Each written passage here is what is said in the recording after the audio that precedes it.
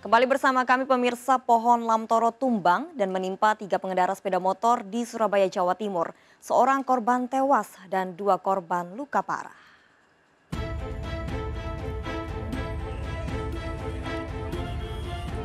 Warga dan pengendara sepeda motor menyelamatkan tiga korban yang tertimpa pohon di Jalan Ahmad Yani, Surabaya, Jawa Timur.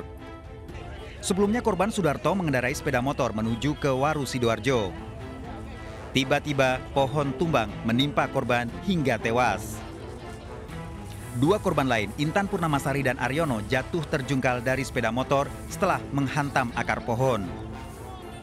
Kedua korban patah tulang dibawa ke Rumah Sakit Bayangkara, Polda Jawa Timur. Diduga tumbangnya pohon lamtoro berusia tua akibat akar pohon sudah lapuk. Jadi kan uh, angin kan agak agak apa agak kencang dikit ya. Jadi lalu pohon kalau dia dari eh, dikabarkan dari pohon tadi tumbang, jadi langsung tumbang karena dari oyotnya tadi sudah kelihatan untuk merekam. Ya.